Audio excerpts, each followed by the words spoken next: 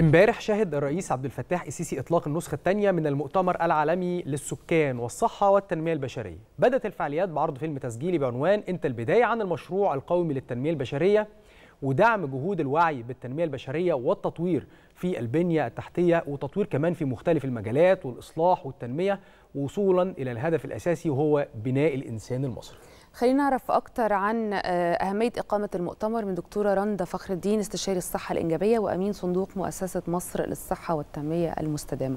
صباح الخير على حضرتك يا دكتور. صباح الخير. صباح الخير يا فندم. أهلا بيكي.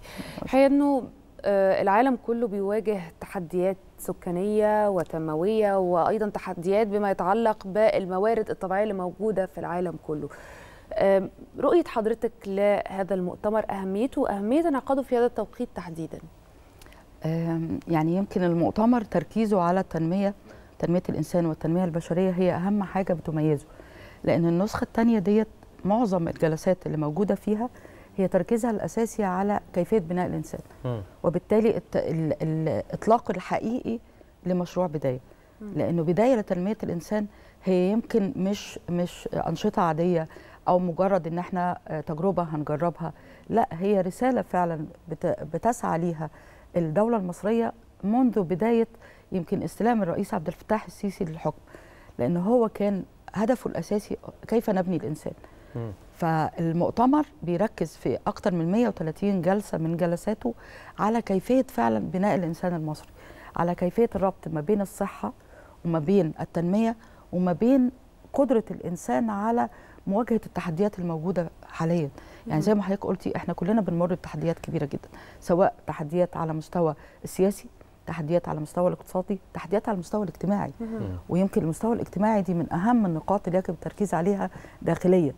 خارجيا في جهات مسؤولة عن كيفية التعامل مع التحديات السياسية أو التحديات الاقتصادية. لكن داخليا إحنا عندنا في أزمة اجتماعية كبيرة جدا وخاصة مع الشباب ومع النساء. لأن هم دورهم وقدرتهم على مواجهة التحديات فعلا لسه مش جاهزة محتاجة تجهز. ومحتاجة شغل عليها كتير جدا. والشغل ده مش بتاع وزارة الصحة بس. لا الشغل ده بتاع كافة الوزارات الشريكة في مشروع بداية. سواء التعليم الصحة الثقافة الشباب والرياضة التضامن كل المجالس القومية المتخصصة. المفروض إن هي كمان شريك في هذه المبادرة.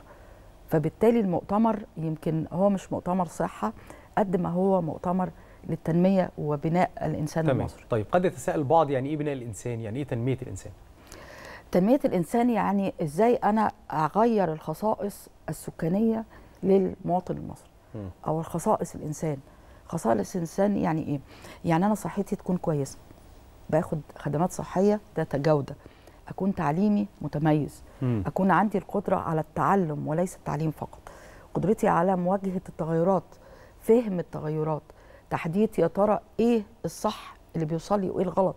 لأن دي مشكلة كبيرة جدا دلوقتي لدى معظم المجتمعات مش بس في مصر. م. إنه يا ترى الرسالة اللي جاية لي رسالة صحيحة ولا رسالة خاطئة.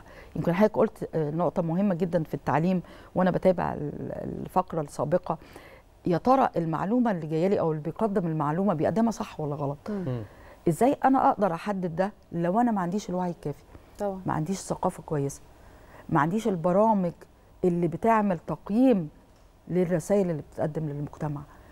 كل ده بيأثر جدا على قدرة الإنسان في مواجهة التحديات الحقيقية اللي موجودة في الوقت الحالي. وزي ما قلت لحضرتك وقلت لحضرتك إن التحديات الاجتماعية خطيرة جدا. م. لأنه عدم وعي الإنسان بالتحديات المحيطة به ده بيخليه ممكن يلجأ إلى سلوكيات أو تصرفات بتأذيه أكتر. وغريبة عنه. طيب بما حضرتك بتتكلمي على هذه التحديات إيه التحديات اللي بتواجهنا إحنا كمجتمع مصري مصري؟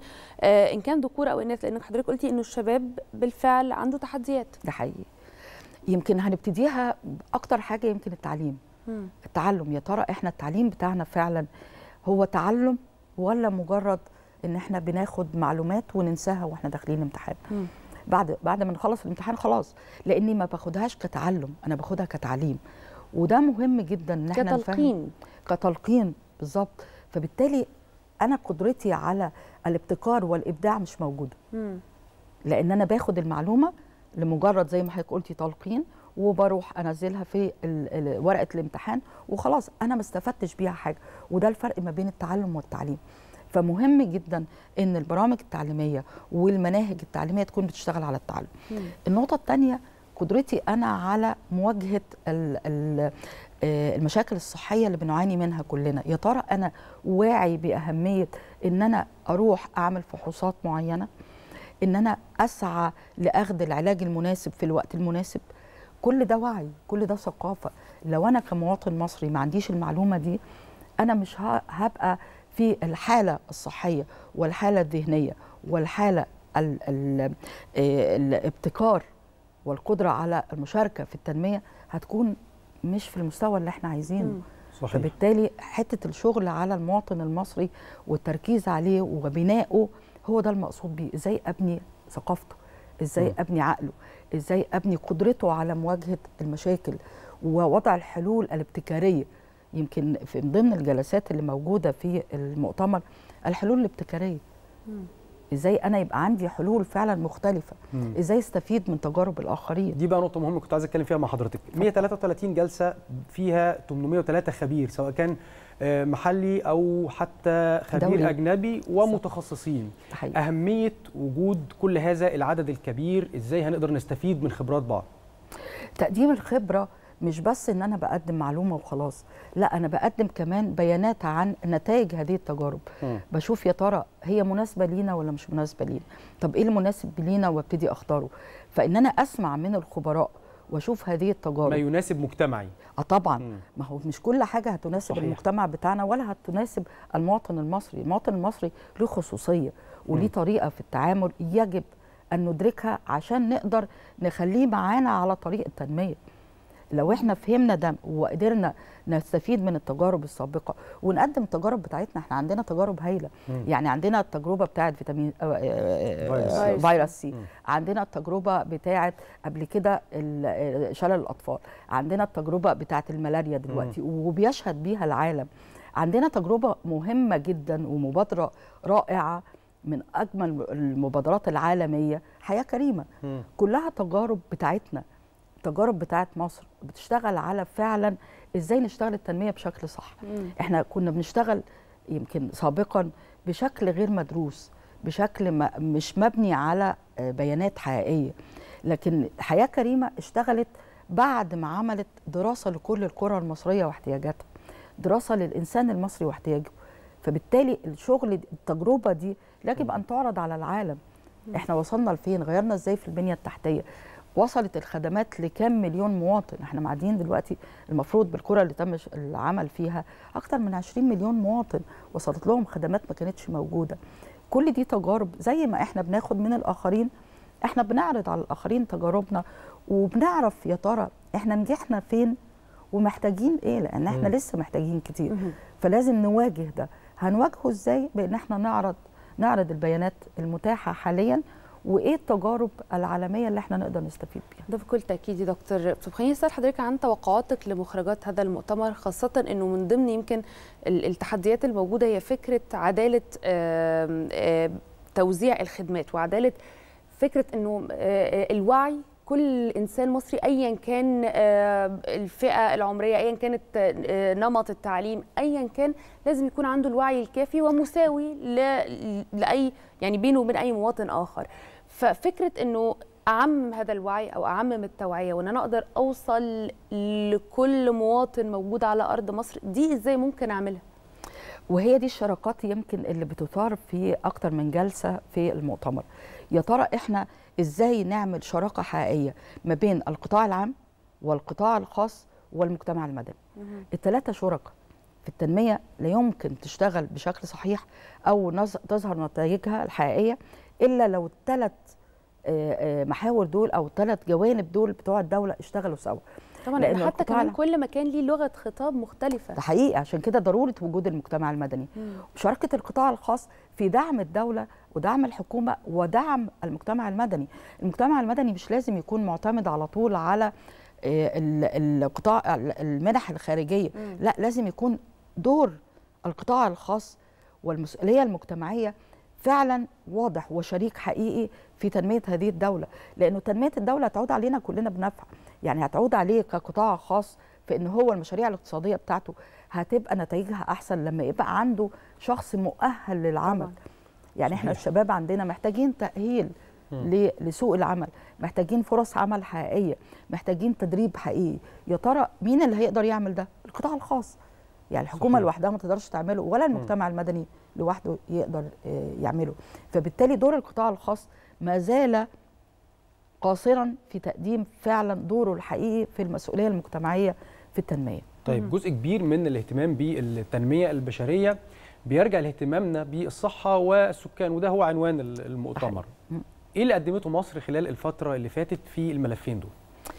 يمكن آه، في ملف الصحة إحنا في خلال تقريبا عشر سنين في كم هائل من الوحدات الصحية تم تجديدها. كمان مشروع التأمين الصحي الشامل أو ال- ال- قانون التأمين الصحي الشامل اللي بدأ تنفيذه في حوالي وصل دلوقتي لحوالي سبع أو ثمان محافظات. كل ده هو تطور في تقديم الخدمات وشكل الخدمات مم. وتنظيم الخدمات. لأنه إحنا محتاجين كل مواطن مصري يقدر يوصل لخدمه ذات جودة. يمكن حضرتك قلتي كلمة مهمة جدا العدالة. يا ترى العدالة يعني إيه؟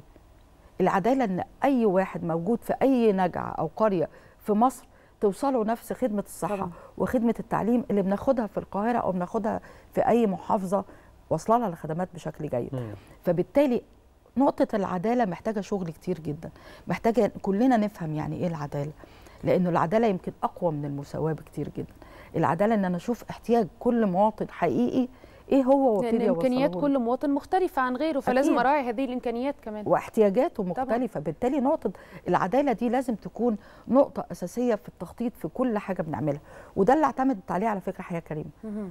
عشان كده يمكن ال- الشغل ابتدى في أكثر القرى احتياجا. إحنا عندنا 5000 قرية وال 5000 قرية محتاجين شغل. حسب قاعدة البيانات وحسب احتياجات المواطنين في كل مركز ونجع زي ما حضرتك قلتي. بالظبط. فعلا دي نقطة مهمة جدا. طب لو هتكلم عن دور المرأة كمان الحقيقة إنه ممكن فكرة تحقيق التنمية المستدامة المرأة ليها باع كبير أو ليها جزء كبير أو في يعني مسؤولية كبيرة بتقع كمان على عاتق المرأة المصرية. حقيقي.